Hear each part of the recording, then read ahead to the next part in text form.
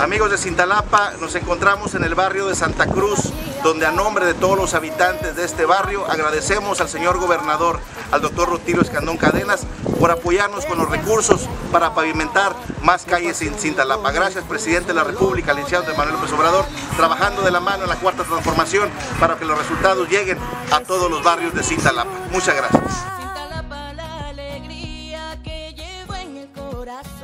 Muy buenos días, estamos aquí en el barrio de Santa Cruz. Mi nombre es María de Jesús Ramos Hernández.